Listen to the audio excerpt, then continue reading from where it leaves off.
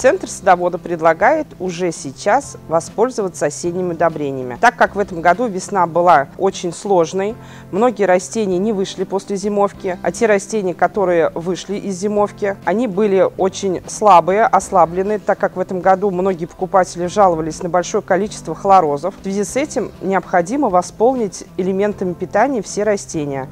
И подкормки нужно начинать уже сегодня. Итак, мы предлагаем вам следующее удобрение. С большим содержанием элементов питания у нас э, представлены фирмы Фертика. Есть еще удобрение Яромила, которое очень богато макро- и микроэлементами. Есть также удобрения, которые представлены буйские. Они достаточно тоже неплохие, но у них период разложения достаточно долгий. Поэтому они подойдут нам под перекопку. Также представлены удобрения органно-минеральные. Такие удобрения достаточно хороши для растений, но у них достаточно большой срок разложения, поэтому они нам подойдут для восполнения истощенных почв, а также при посадке луковичных и лука с чесноком представлено очень много удобрений для осеннего газона, для осенних хвойников, которые тоже в этом году необходимо побаловать. Так как хвойники в этом году выходили очень плохо из зимовки, их необходимо побаловать элементами питания. Ну а мы вас ждем за покупками в нашей сети «Центр садовода».